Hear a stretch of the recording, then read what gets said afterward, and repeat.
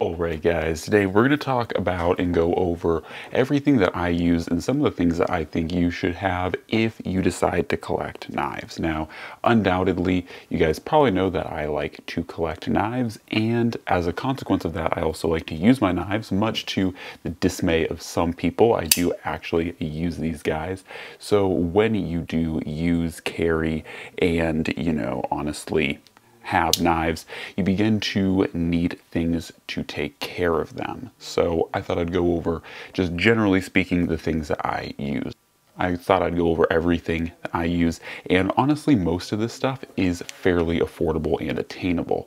Now, first off, we're going to talk about the thing that's probably the least affordable, and that is the sharpening setup. So for me, my sharpening setup is a pretty basic Wicked Edge setup. Unfortunately, this system as you see it with these strops, these stones over here, and this base and all this just setup in general costs about $600. So it is not the cheapest setup, but I really do like the Wicked Edge system as a whole because it allows you to uh, allows you to essentially set your angles very accurately and sharpen on two sides at one time. So you're hitting basically both of your bevels at the same time.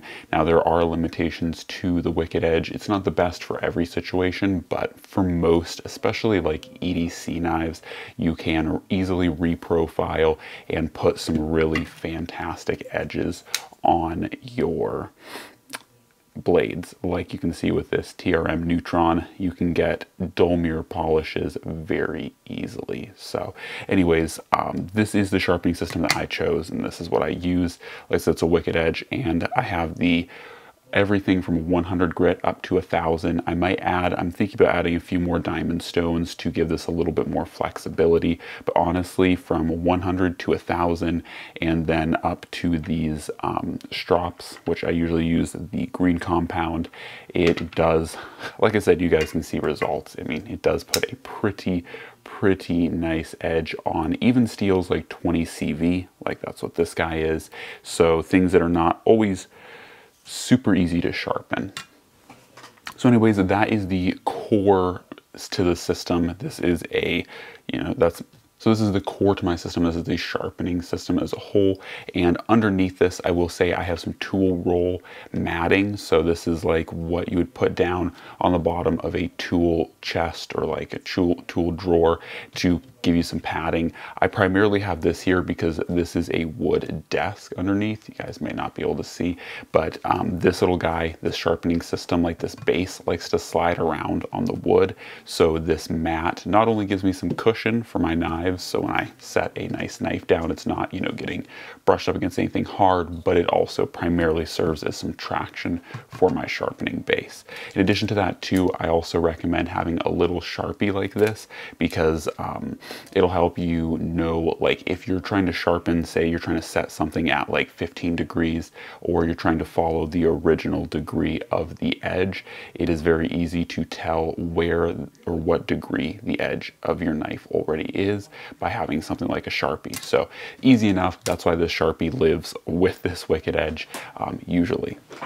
All right so that's the sharpening but there is a lot more especially to folding pocket knives as a whole of course, having a keen edge is nice, but there's also the action that you need to think about. So for the action, I just use KPL or knife pivot lube. I think this is one where everyone has their own different preferences. For me, KPL just works. Um, there's nothing really that I can say against it, but you know, there are like many lubes, um, there's many different types out there. And so I use KPL and it's fairly affordable, um, nothing too crazy, but yeah, so that's usually what I use is knife pivot lube or KPL. So then in addition to that, I usually have a microfiber cloth, something like this, um, like one that you'd use to like clean your glasses with. I have that guy here. This one just happens to be a Civivi brand one because I got it from Civivi for free, but I just use usually any microfiber cloth. This one sometimes is a little bit small, so I also have a larger microfiber cloth up here for cleaning off larger edges and yeah, those things are super handy, especially when you have nice mirror polishes that you want to preserve or just keep your knife like fingerprint free.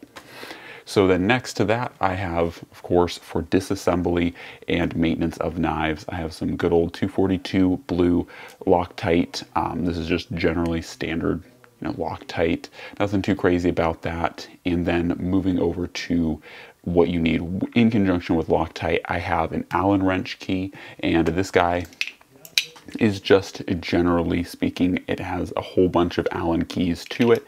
So nothing too fancy, nothing too crazy. But I like to keep that guy because some of my knives, especially my Chris Reeve knives, actually use Allen keys as opposed to Torx bits. So I will have that there.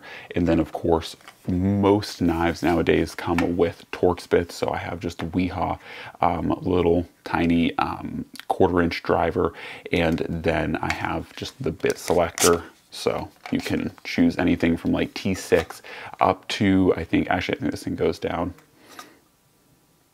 yeah, it goes down to like T5 here, but you can choose anything from T5 up to T30, which obviously is overkill for most knife stuff, but as a consequence, you have your T6, your T8, your T10, and those are pretty useful for knives. So that is the quarter inch driver and the bit selector uh, that has just a whole bunch of Torx bits in it. So those are what I generally use for knives. Obviously, there are some knives with proprietary uh, systems such as Hinderer that you have to have specialized tools for, but generally speaking, I'd say 90% of my knives can be disassembled with the Allen key and the Torx bits. And of course, there are some like my Emersons that you just use uh, Phillips and flathead screwdrivers to disassemble as well. So like I said, these don't cover everything, but the vast majority of my knives use one of these two.